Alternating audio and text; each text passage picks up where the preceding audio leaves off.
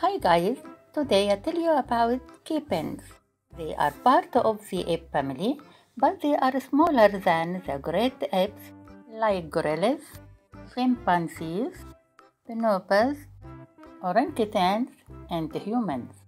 These small apes live in the rainforest of Southeast Asia.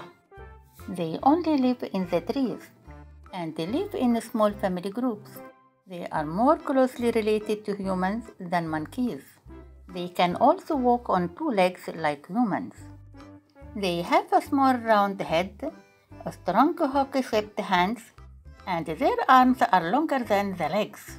They don't have tails and their bodies are covered with brown or black dense hair. But their face, palm hands, and the bottom of their feet hairless.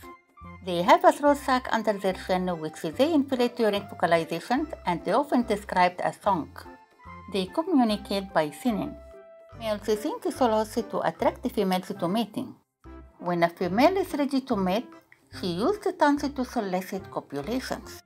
Male may approach a female and touch each other. They also pair off face to face like humans do. They live with each other for life. Females will give birth to only one baby every 3 to 4 years. Thank you for watching my video and see you later.